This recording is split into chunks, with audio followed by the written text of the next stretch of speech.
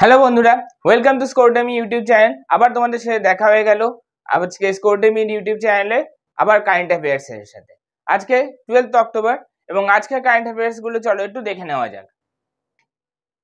তো, আমরা জানি যে ইসরায়েলে রীতিমতো একটা হামাসের সাথে একটা যুদ্ধ চলছে এবং হামাস একটা টেররিস্ট অর্গানাইজেশন এবং এই যে যুদ্ধগুলো হচ্ছে, তার ফলে তো মানে প্রচুর মানুষের ক্ষয়ক্ষতি হয়েছে অলরেডি দু হাজারের ওপর মানুষ মারা গেছে, এগুলো আমরা মোটামুটি জানি। এবং সবচেয়ে খারাপ হচ্ছে যে অনেক ভারতীয় আছে যারা ইসরায়েলে রয়েছে, এবং তারাও এখানে এই যুদ্ধের দ্বারা কিন্তু এফেক্টেড হয়েছে। এবার যে কোনো যুদ্ধের সময় ভারত সরকার সবসময় চেষ্টা করেছে তাদের যে জনগণ আছে তাদেরকে সেখান থেকে তুলে আনা। মানে ভারতীয়দেরকে সেই যুদ্ধক্ষেত্র থেকে বা যুদ্ধের দেশ থেকে উদ্ধার করে নিয়ে আসা। এর আগেও একাধিকবার এরকম অপারেশন হয়েছে। ইউক্রেনেও হয়েছিল, রাশিয়াতেও হয়েছিল।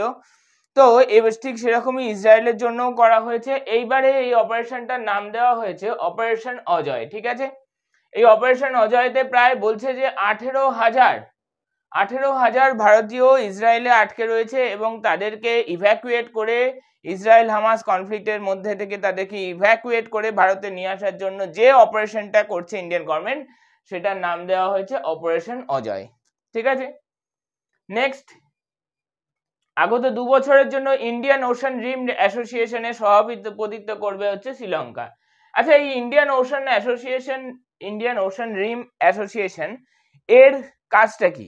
এর কাজটা হচ্ছে যে ইন্ডিয়ান ওশানের আশেপাশে যে কটি দেশ আছে, সেই দেশগুলির যে ওশান এরিয়া আছে, সেই ওশান এরিয়া ডেভেলপমেন্ট দেশগুলির মধ্যে কোঅর্ডিনেশন এবং বিভিন্ন ধরনের ওয়াটার পলিউশন তাদের ট্রান্সপোর্ট ইত্যাদি জিনিসকে কোঅর্ডিনেট করা, অর্থাৎ সবার মধ্যে একটা সামঞ্জস্য রাখা।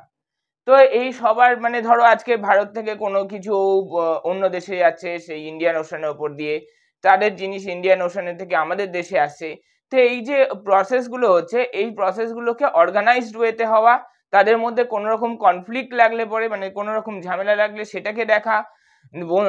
বন্দি ট্রান্সফার যেমন ধরো কেউ মাছ ধরতে ধরতে অন্য দেশে, ভারত মহাসাগরে অন্য দেশে চলে গেল। এই সব ধরনের জিনিসগুলোকে মানে কন্ট্রোল অ্যান্ড মনিটর করার জন্য ইন্ডিয়ান ওশান রিম অ্যাসোসিয়েশন রয়েছে এবং এই ইন্ডিয়ান ওশান রিম অ্যাসোসিয়েশনের সভাপতিত্ব করছে আগামী দু বছরের জন্য Sri Lanka.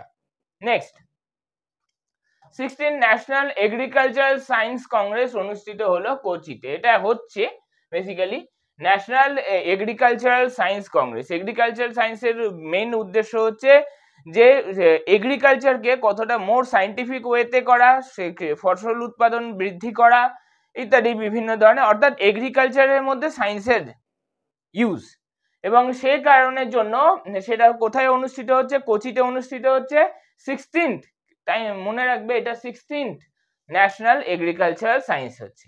চলো নেক্সট এগিয়ে যাওয়া যাক। বিহারের পর কাস্ট সার্ভে করতে চলেছে রাজস্থান। কিছুদিন আগে বিহারে কাস্ট সার্ভে হলো। কাস্ট সার্ভে মানে কোন ধরনের জাতি কতগুলি ওই রাজ্যে রয়েছে, ঠিক আছে? কারা ইমিগ্রেন্ট এইসব হিসেবগুলো রাখাই হচ্ছে কাস্ট সার্ভের কাজ। এবং বিহারের পরে রাজস্থান এই কাজটা করছে, হুম কাস্ট সার্ভে নেক্সট হচ্ছে অপারেশন আয়রন শোড লঞ্চ করল ইসরায়েল ইসরায়েলের যে যুদ্ধটা হয়েছে, তো আমরা জানি যে হামাস আচমকাই অতর্কিতে অ্যাটাক করে এবং প্রায় দেড় হাজারের ওপর ইসরায়েলি নাগরিক এবং সৈন্যকে তারা নিজেদের পণবন্দি করে রেখে দিয়েছে। এবার ইসরায়েলকে তাই কি করছে? হামাসের ওপর ডিরেক্ট ওয়ার অ্যাটাক করে দিয়েছে। ইসরায়েল অফিসিয়ালি নোটিফিকে বলে দিয়েছে যে তারা দে আর অ্যাট ওয়ার তারা যুদ্ধের মধ্যে রয়েছে এবং এই যে অপারেশনটা সেটার নাম দিয়েছে হচ্ছে তারা আয়রন শোড ঠিক আছে? আচ্ছা Israel defence forces launches operation iron swords এর সাহায্যে তারা পুরো বলেছে যে ক্যাপচার হামাস পুরো হামাসকে ধ্বংস করে পুরো গাজাটাকে ক্যাপচার গাজা আর কি, গাজা যেখান থেকে হামাস অ্যাটাক করছে, পুরোটাকে ক্যাপচার করে নেওয়ার প্ল্যান রয়েছে ওদের। Next Chakravat twenty twenty three বার্ষিক যৌথ অনুশীলন হোস্ট করল ইন্ডিয়ান নেভি এটা শেষ হয়ে গেছে। এটা হয়েছিল হচ্ছে নাইনথ অক্টোবর থেকে নাইনথ সরি নাইনথ থেকে ইলেভেন্থ অক্টোবর, ঠিক আছে? কোথায় হয়েছে? গোয়াতে হয়েছে, ঠিক আছে? কি হয়েছে? Indian national navy Chakravat twenty twenty three করেছে। ওকে? নেক্সট চলে আসছি আমরা। The book of my life with Buddha for success শিরোনামের বই লিখলেন বিবেক অগ্নিমিত্রা। অগ্নিহোত্রী সরি প্রত্যেক পরীক্ষায় কম বেশি আমাদের তো রাইটারের নাম আসেই।